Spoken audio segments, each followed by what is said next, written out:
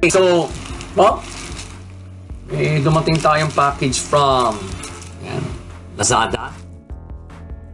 Two days ago ko lang in-order ito. Ang gulat ko nga eh. Pero alam ko na yung ito kasi nakalagay dito sa akin. Ah, okay. Now for the challenging part. Itong bubble wrap.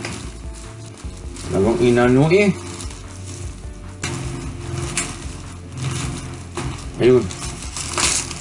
Kasi ang, ang mga in-order ko dito, uh, regular namin actually na in-order to from Lazada. One of them is this one. Yan. Yan. Ko sa inyo. Yan. Nutritional yeast. If you're on keto or IF, ito ang cheese substitute ninyo. Ngayon kung maubusan kayo nito, tuwing order kayo ng burger, gina, uh, tuwing ako, uh, tuwing ako i-order ng burger, pinapales cheese ako. Pinapales cheese ko.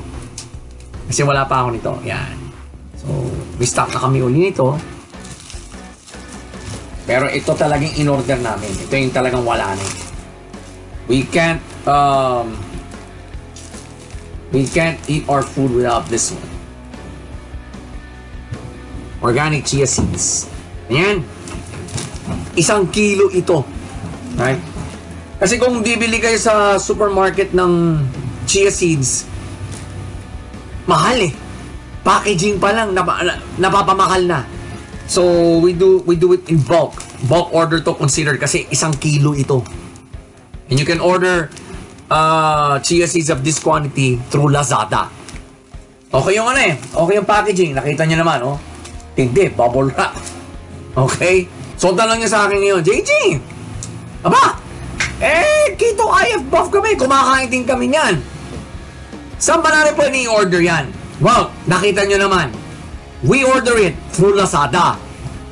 If you're already subscribed to my to this YouTube channel of mine, you know the drill already. I assume. Hit my special link in the description para makagamit na kayo ng Lazada app para ma-order nyo ito. Yan. Right? Uh, it's from the Naturally Good Company. I-search nyo.